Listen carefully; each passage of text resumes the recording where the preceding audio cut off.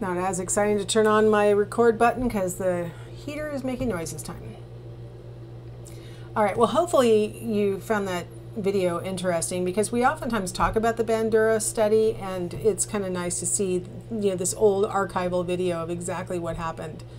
Um, so some of the triggers that can lead to aggressive action would be things like imitation, right? The role modeling that we saw in the Bobo doll experiment being an example of that.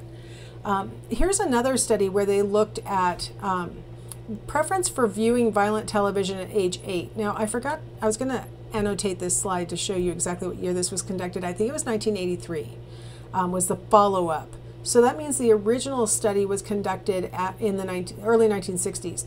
So what they considered a high violence TV show was Gunsmoke. Now, if you've never seen Gunsmoke before, it's not a high violence TV show as measured by today's standards. Um, there were gunfights, but there was never any blood seen. There was nothing like um, the gun would go bang, the person would fall down, and then they'd be for sure dead. Like that was it. Um, there, it wasn't like things are today, and especially on cable or um, you know paid for cable kinds of movies and things like that. I just want you to have the context of the study.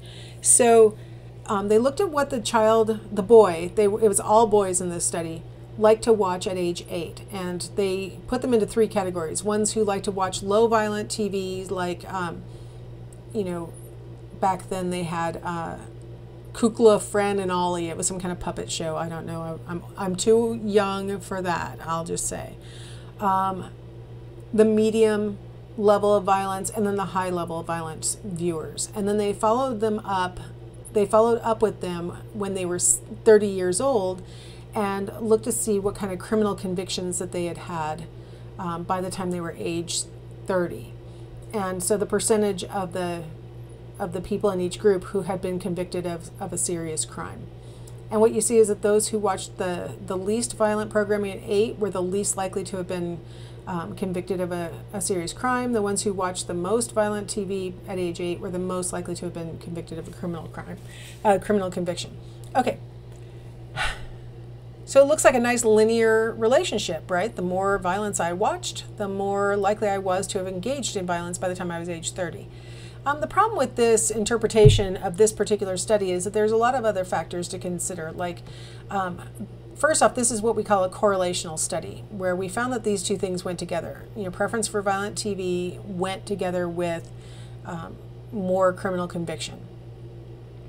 But we don't know why and we don't know how these two things are related. It's possible that the people who were already the most, had the, the most tendency towards violence at age eight were the ones who preferred watching violent TV. Like they already were violent and they liked the violent TV, and then unsurprisingly, by age 30, they had engaged in violence and gotten in trouble for it. I mean, it's completely possible that some third variable is causing both what they watched when they were eight and you know how likely they were to have done something wrong by the time they were 30, and that variable could be something like their genetic predisposition or how their brain is organized or a whole bunch of other things. What the researchers wanted us to focus on is that maybe the children were imitating things that they had learned on the TV shows that they watched, and that across life, those became more and more solidified in their behaviors. So, imitation directly from you know somebody in your life, direct imitation of people on TV, things like that.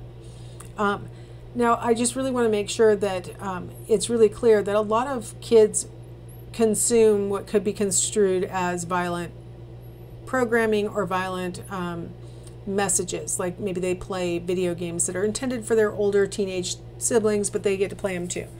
Um, and never engage in any real life aggression. Uh, we have to be really careful about making the assumption that what you know monkey see monkey do right? Like i see violence then i do violence. They did a study of little kids when teenage mutant ninja turtles was new back in the 80s people were very concerned that these turtles were doing ninja moves and that the kids would do them to their peers and actually hurt each other. What they found was in all the in all the kids studied with the exception of the youngest ones who were five from six and above they all did their ninja moves either in the air in front of their friend, and if there was contact made, it was accidental because they both put their legs up at the same time or something like that. or they did it to an inanimate object where they would like make their kicks and punches towards a tree or a car or something like that.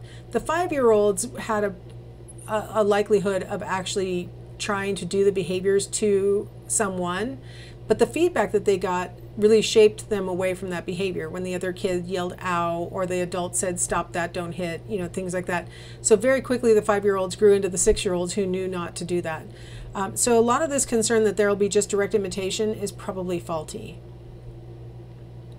Let's talk about something more happy. Let's talk about how do we teach kids to be altruistic. Altruism means to do something nice for someone else with no expectation of reward.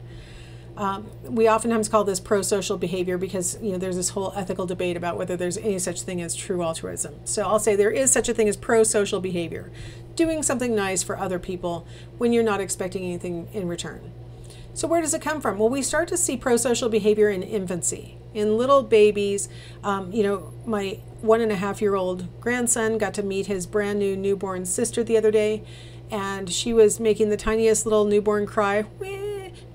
And he was so concerned for her. He came over, he kissed her on the forehead. He was very concerned about her. Um, my three-year-old was granddaughter was a little less interested in the crying baby, but the one and a half year old was like, "Holy cow! Why is it crying like that?"